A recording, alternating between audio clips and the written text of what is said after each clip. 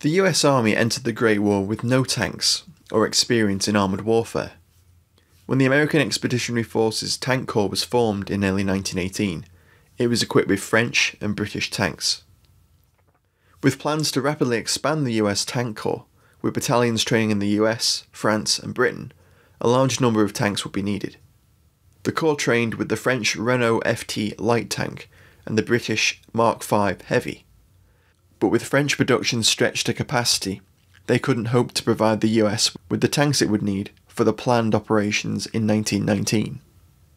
As a result, the US negotiated with France for a license to produce the FT in the US. They also commissioned a smaller 3 ton light tank from Ford and entered into an agreement with Britain to build a new heavy tank, the Mark 8. The American made FTs were designated the Model 1917 6 ton light tank, and 4,400 were ordered, with deliveries set to begin in April 1918. The Ordnance Department finalised the M1917's design and contracted a number of private companies to build the tanks. Delays in production, however, meant that the first American tanks were only completed in October 1918, and none of the M1917s reached the Western Front before the war ended. As a result, the primary US tank of the war was the original French Renault FT. Revolutionary for its turret, which could rotate 360 degrees. The FT equipped the 1st Provisional Tank Brigade, what would become the 304th Tank Brigade, commanded by Lieutenant Colonel George S. Patton. The American FTs saw action for the first time in September 1918 at the Battle of St. Mihiel. 144 US FTs took part in the battle, and both tanks and crews performed well. The Five of Hearts, a 37mm armed FT with the 344th Tank Battalion, took part in the Meuse Argonne offensive, and while making an isolated attack on German positions in support of bogged down US infantry, the tank was immobilised and its gun mantle jammed by enemy small arms fire. The tank's commander, Sergeant Arthur Snyder, recalled my wounded driver kept filling pistol clips, and I produced as much fire as possible with our pistols and the crippled 37mm. Three German machine guns were set up at very close range, and just out of range of our piece with its limited elevation. The constant hammering of these machine guns at close range was terrific. The hinges on the doors could not stand up under it for long, but it was the mushroom ventilator on top of the turret that gave way. Luckily for Snyder, the German infantry made no attempt to rush the tank, content instead to pepper it from a distance, and they quickly retreated when men of the 16th Infantry arrived.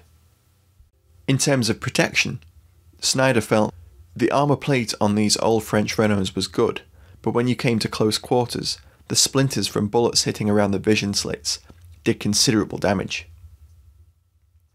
In fact, two of Snyder's drivers were badly wounded, one by bullet splash splinters to the face, and the other with a wound to the throat.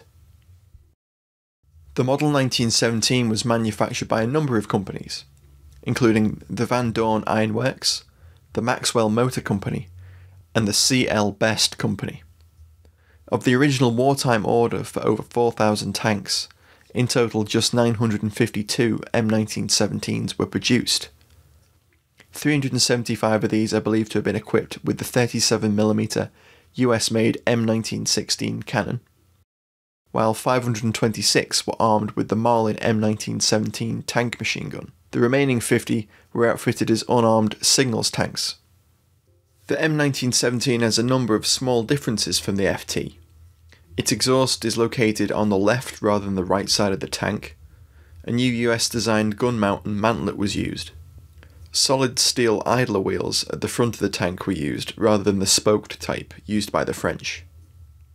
Additional vision slits for the driver were added, and a bulkhead sectioned off the engine from the cab.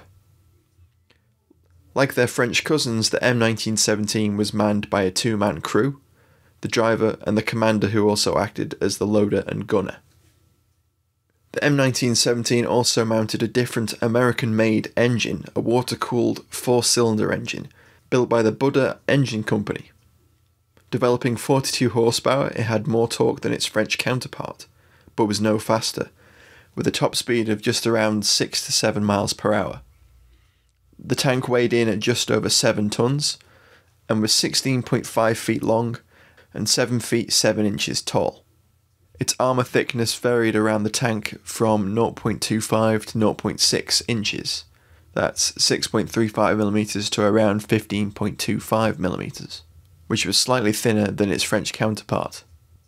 The majority of the tanks were armed with machine guns, using the 30 caliber M1917 Marlin tank machine gun, rather than the French Hotchkiss. The male or cannon arm tanks had a 37mm gun, and more than 230 shells were carried for the gun. Perhaps the Model 1917's most impressive feat stemmed from a publicity stunt in April 1919, when an M1917 climbed Pikes Peak, a mountain in Colorado. At the time, the road up Pikes Peak was said to be the world's highest motor drive. A single tank was driven up the mountain as part of fundraising efforts for the fifth and final round of Liberty Bond sales, which hope to raise $4.5 billion in war loans. We'll have a separate video taking a look at this exploit at a later date. None of the M1917s reached the front line, but many were used as props to sell war bonds. In this photo dated April 1918, a platoon of M1917s is seen shortly after they arrived at Camp Merritt by train.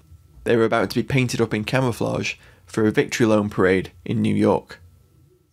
After the war, the M1917, along with over 200 French made FTs brought back from the Western Front, formed the backbone of the US Tank Corps. In these photos, we can see several tanks taking part in a mock battle with supporting infantry at Camp Meade in May 1919. This photo shows men learning how to service their vehicles at Camp Meade in December 1919. By 1921, the Tank Corps had lost its independence and had been all but disbanded, with the infantry given control of the American Army's tank forces. A handful of M1917s were deployed briefly overseas with the US Marine Corps during the 1920s, but the M1917 was largely resigned to training as it became increasingly obsolete.